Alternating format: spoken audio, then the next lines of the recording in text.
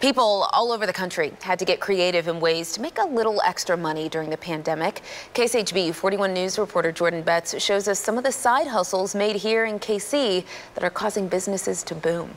My whole intent was that I didn't want a cakey cookie. Christina Jokerst has spent the last two years perfecting her chocolate chip cookie recipe. And it was a very long two years. Like, I can't tell you how many times Jeff would come home and there would be like dozens and dozens of like cookies in the trash and pounds of butter.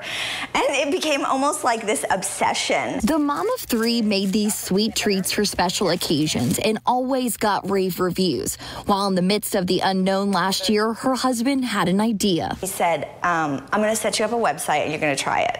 So I was like, okay, fine, we'll try it for just a couple weeks.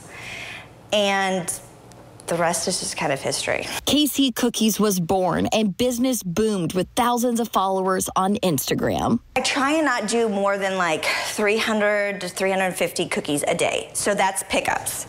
Um, Pop-ups, I usually take about 600, sometimes more if we do pre-orders. Turning her son's man cave into a bakery. Like when I tell you that I took their man cave, I took their man cave. Are they upset with you? Oh, they're still upset. Christina is not alone.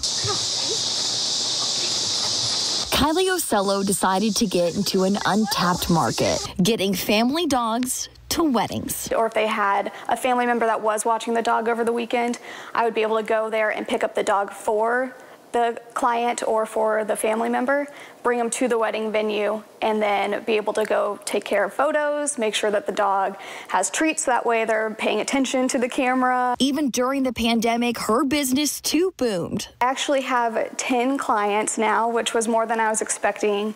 Um, and there's going to be seven for this year, even, and then three for next year. Both women never expected to develop a side hustle during a pandemic, but say it's a good way to expand your horizons and earn a little extra cash. Get involved, reach out to people, and just try it. See what works. I didn't think that this was going to grow or work the way it did.